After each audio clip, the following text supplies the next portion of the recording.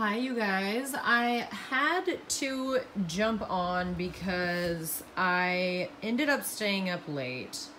Obi is very tired right now. She's out. Um, all of these I have to throw away. And I'm super freaking mad because out of everything, the only things that I'm not throwing away are these like three things because they do not have like fragrance and all this other stuff. Like there's literally three things and they're powders. So what does that say? Um, so first of all, I want to say that I have been researching products for a while now, like the past few weeks, and I've been using the Think Dirty app. All of you guys know you've been watching, but I just have to point out a few things because I'm starting to actually know what I'm starting to look and see the actual names and just know just by looking at it. So, for example, Moroccanoil, Everyone knows this. It's very popular.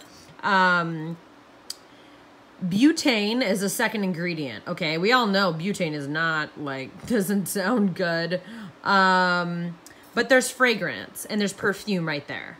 So if there's fragrance in anything, that means that there could be 3,000 other ingredients in here that they didn't want to say what it was. Um, and in a lot of these, actually, there's a ban in the UK. So, like, I don't know, 20 or 30%. But I mean, you guys, look, this is this is not cheap, okay? And I also wanted to show the Lush. Lush also has um a bunch of crap in it. Um P, P, P pegs, PGs, like right there. What?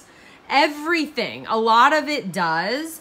And, you know, these are all, I'll kind of pull out the drugstore ones, you know, the Maui Moisture. These, you guys, are full. I just got these a few weeks ago, but when I found out, um, uh, you know, how harmful everything was that I was using, I was like, okay, I need to do, this is, these are actually from my beauty kit that I take on site and I kind of lay out during my jobs and I pull them out. Oh yeah, and then these lotions were also in my bag. Um, and you know, and it's funny because everyone always says they smell so good, but like, is that worth cancer? No. So um, I am very sad that I'm throwing all these away and now have to replace literally everything. I have a wedding coming up and now I have to get hairspray, dry shampoo, like all this stuff. And I just, I mean, it's basically everything that I had in, in my um, bag. And I'm just super, super bummed. But I thought I'd share it because it's real. It's happening. This is my life now. You, I can't unknow anything. And unfortunately, well, it is fortunate because, you know, I'm, I'm about 30 years old and you know, it's better late than never. And I hope that I can help somebody else um, that is, you know, whether you're struggling from skin conditions or not, or you've had cancer or not, or any, it doesn't matter.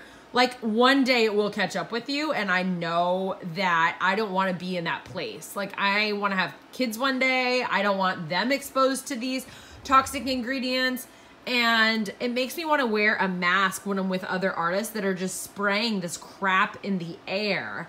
Um, it's super, super sad. And, um, but I thought I'd, I thought I would just hop on because all these are going into the trash bin. You will see them all go into the trash tomorrow. That's my night. Good night, guys.